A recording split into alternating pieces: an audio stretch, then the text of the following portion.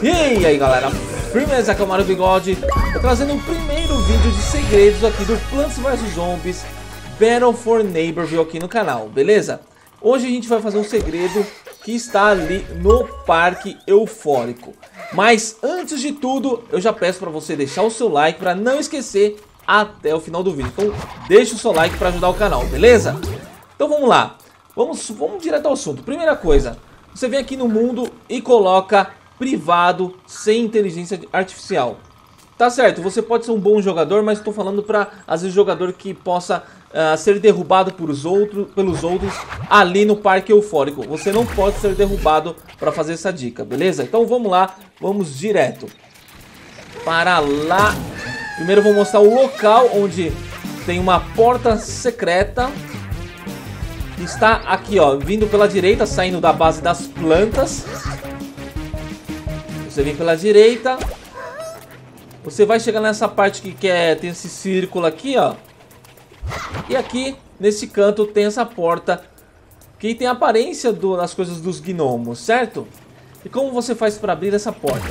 Existem seis, uh, seis ícones aqui, aqui espalhados pelo, pelo chão do parque que a gente vai ter que fazer uma interatividade, beleza? Eu vou começar aqui pela base das plantas, tá? Vocês podem ver que tem o símbolo de uma bota aqui, ó.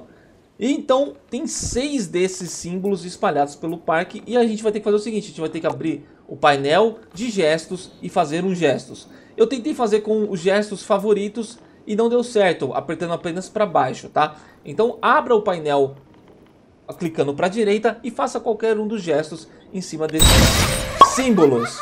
Olha lá. Viu? Então, agora o segundo está logo aqui na frente, mais para a esquerda. Aqui, ó. É o Flamingo. Pode fazer o mesmo gesto, não tem problema. Aí você volta um pouquinho e sobe aqui a escada. E entra nesse negócio de... de tipo um jardim aqui, né? E já sai pela direita aqui, ó. Ele vai estar tá aqui, ó. Aqui é o garfo, né? Eu chamo de garfo. O próximo, você desce aqui, ó. Você cai, não continua reto, você cai aqui, ó. Tá ali o próximo. Que é a cerquinha.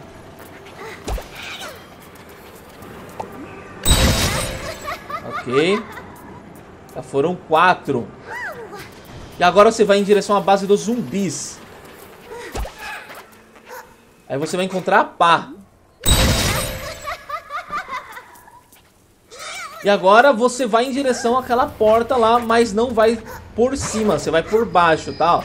A porta dos gnomos está aqui em cima. Você vai aqui embaixo dela, ó. E você vai encontrar a planta. Olha, aparece a mensagem. Os gnomos acreditam no seu valor e o seu boneco fica brilhando. Isso é um indicativo que você ativou todos os símbolos que precisávamos.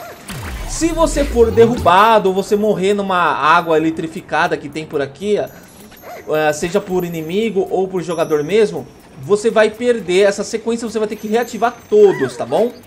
Beleza, então agora a gente vai para esse local, como eu falei aqui, desse círculo, e vamos de frente para a porta que vocês viram que brilhou o, os olhos dela. E o que, que a gente tem que fazer para abrir? Ela não abre, tá? Você vai ter que abrir o painel uh, de declarações. Você vai até o final aqui, ó. Tá lá no final a declaração que você vai ter que interagir. Você tem que falar gnomos para essa porta. É uma... como se fosse uma senha.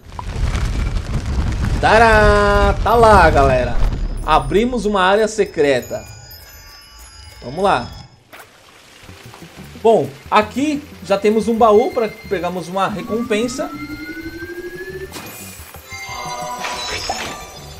Ainda subi de nível. E a recompensa é... Gnomos para sempre. Plaquinha de vitória. Eu já fiz com outra conta aqui, galera. E eu não achei mais nenhum outro segredo aqui, tá? Até que deu uma boa vasculhada. Mas vamos lá. Vamos para o objetivo final aqui. Que é uma... Uma tumba secreta aqui de gnomos. Bom, Aqui vocês estão vendo que tem um puzzle. E aqui, baús. Dois baús a gente pode abrir e outro está trancado. Mas não vamos abrir os três agora, vamos fazer o puzzle. Este puzzle é o seguinte. Eu fiz um teste uh, ah, para ver se ele era igual em duas contas. Ele tá parecendo tá igual a uma outra conta que eu fiz. Mas eu acredito que ele não seja igual sempre. Então eu acho que não tem uma ordem certinha para você fazer. Mas não é muito difícil, galera. Não é muito difícil. Uh, você vai ter que colocar esses símbolos na ordem correta, sabe? E quando um símbolo está no local correto, ele fica aceso, verde, bem clarinho, como está o, o Flamingo aqui, ó. Ele está, o Flamingo tem que ficar na posição 3, né? A gente tem 1, 2, 3, 4, 5, 6, 7. Ele tem que ficar na posição 3.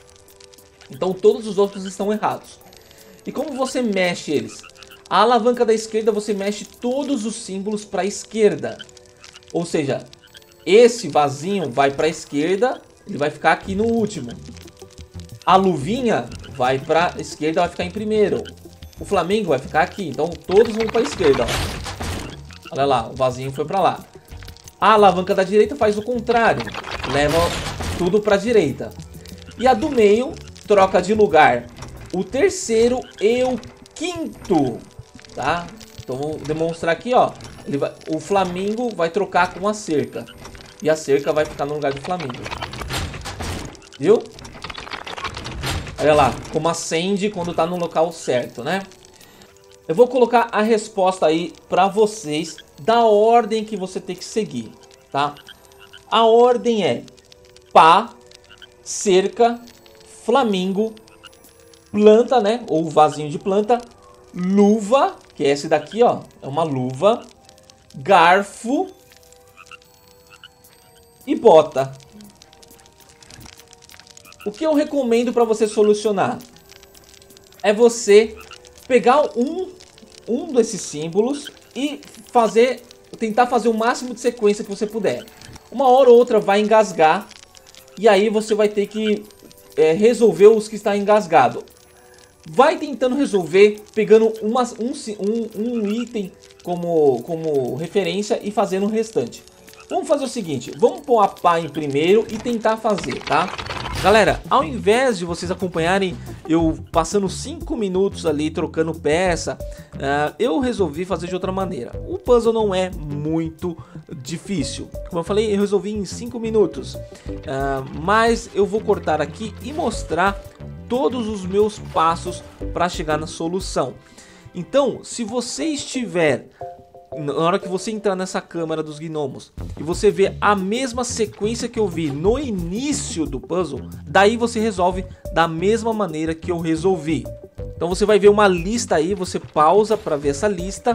Uh, o que está com a letra D é para você mexer a alavanca da direita, a letra E a alavanca da esquerda e a letra M a alavanca do meio, aquela que troca as peças. Beleza? É bem fácil, então é só seguir letra por letra.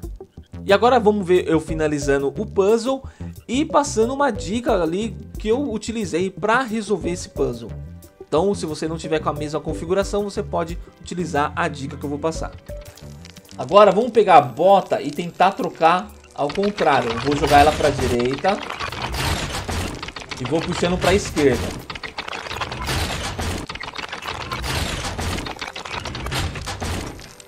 Olha só, eu acho que agora tá certo, hein?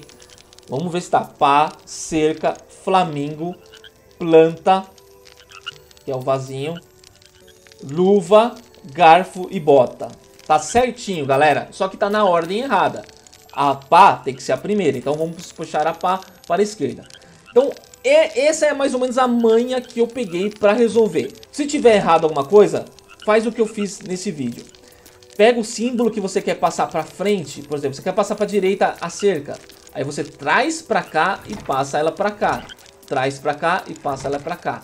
Se for para direita, você faz ao contrário. Traz para cá e passa para cá. Entendeu? Então vamos lá. A pá tem que ser a primeira. E... Tadã! Tá lá, galera.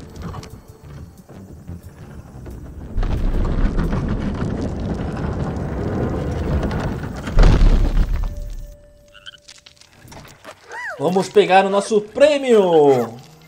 Primeiro vamos abrir esses baús aqui.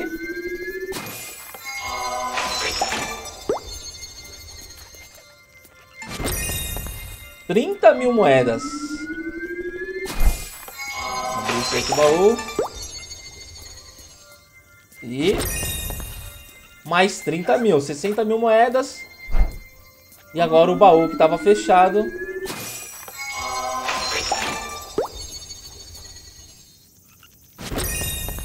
Tará! Mancha cogumelo gnômico.